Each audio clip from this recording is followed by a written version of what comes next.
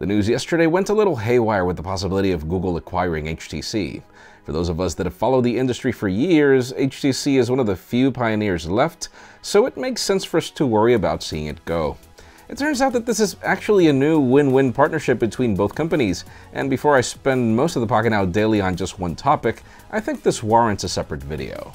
I'm Jaime Rivera with Pocketnow, and let's learn more about this new partnership between Google and HTC.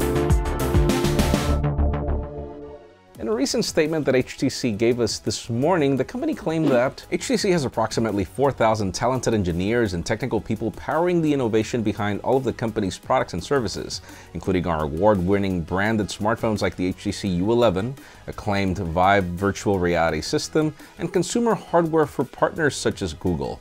Under the terms of the cooperation agreement, approximately half of these engineers and technical people will join Google upon closing. HTC continues to have a lot of exciting things in the works, including a cutting-edge 2018 product portfolio. If you think about it, this is definitely a win-win scenario. On one hand, we've got HTC benefiting from the fact that it's been struggling economically for years. It's getting $1.1 billion for this deal, which will also allow it to operate leaner with less employees, definitely. On the other hand, we've got Google, who has been trying to get its Made by Google brand off the ground. Now it'll have technical expertise from HTC, in addition to a non-exclusive agreement to HTC's IP. And then we also hear that Google will continue manufacturing phones in Taiwan, and definitely HTC is going to be the ODM. So again, I don't see where any company loses here. It's the complete opposite.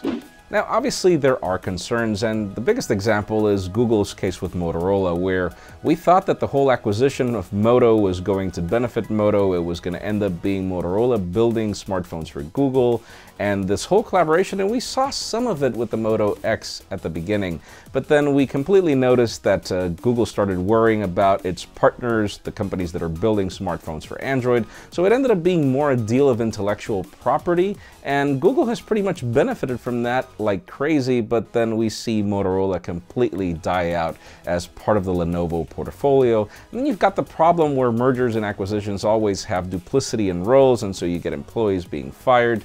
This is not that. This is a completely different scenario from where we notice. We notice that this will allow HTC to actually operate again in a leaner way. Would this work or not is the biggest question, and it also leads me to the question of this video. We would love to know your opinion. What do you think? Do you think that it's a good idea for this agreement to happen, or do you think that it could have been done better? In my case, I do believe that this was the smartest thing that could have ever happened to HTC. Hopefully this will allow the company to reinvent itself and continue bringing us great smartphones. I have been a big fan of HTC for years and I really want the company to figure this out. But leave us a comment down below, we'd love to know your opinion. Folks, just like this, we've got more videos in the pipeline, so make sure you follow us on social media and subscribe to our channel hitting this button up here. You can also watch our latest Pocketnow Daily up here or our latest video down here. In addition, you can also follow me on Twitter, Jaime underscore Rivera, on Instagram at Jaime Rivera. Please give this video a thumbs up if you like what you saw. I am Jaime Rivera. Thanks so much for watching. We'll see you tomorrow.